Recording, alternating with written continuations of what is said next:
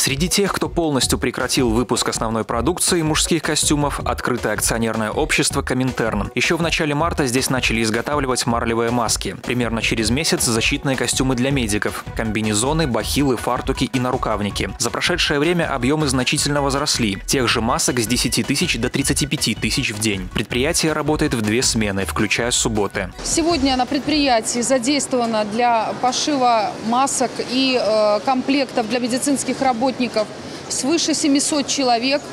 Ежедневный план у нас достаточно большой, но мы понимаем, работа нужна. Она сейчас важна не только для нас, она сегодня важна как для города, области, так и для нашей республики. Поэтому э, в сутки мы выполняем э, план, порядка 35 тысяч масок выпускается и э, 3 тысяч комплектов для медицинских работников. Гомельский ликероводочный завод «Радомир». 11 апреля здесь начали выпускать новую продукцию – дезинфицирующие средства. Основное производство при этом не остановили. Необходимое оборудование разместили в помещении, где раньше находился склад. Существующие складские помещения были оперативно перепрофилированы, и на данных площадях был налажен выпуск для средств.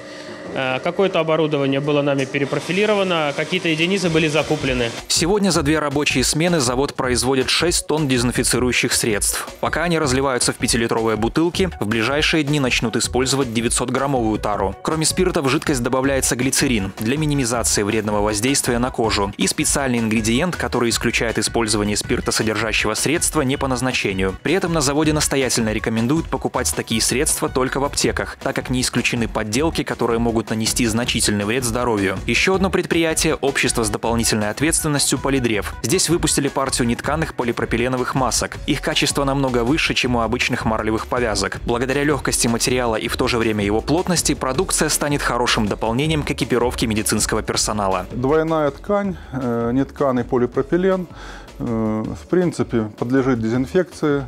Можно его кипятить, ничего с ним не происходит. Можно погладить утюгом 90 градусов, тоже ничего не произойдет. Таким образом, ну, какая-то посильная помощь врачам будет оказана.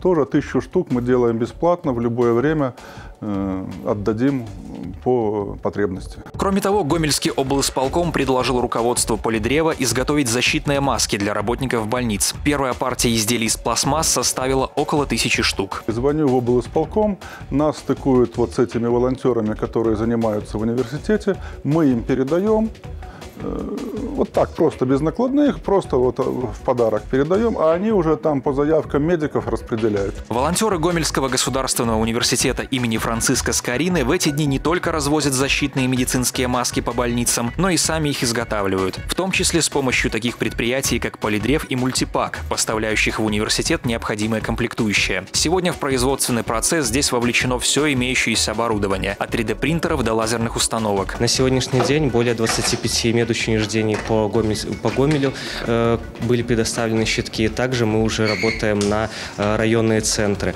Корма, э, Хойники, Добруш, Жлобин. Э, мы уже поставили более тысячи в общей сумме щитков. Практически вся продукция, изготавливаемая на предприятиях региона, из белорусских материалов. Это позволяет не только массово выпускать необходимое, но и делать это максимально оперативно. В открытом акционерном обществе «Химволокно» сегодня, как, впрочем, и ранее, загружены все мощности. Только если раньше Раньше нетканый материал направляли в строительную отрасль, а также для изготовления тех же подгузников и памперсов. Теперь он используется только для медицинских целей. Олег Сентюров, Николай Скинтиян, Евгений Макеенко. Новости недели.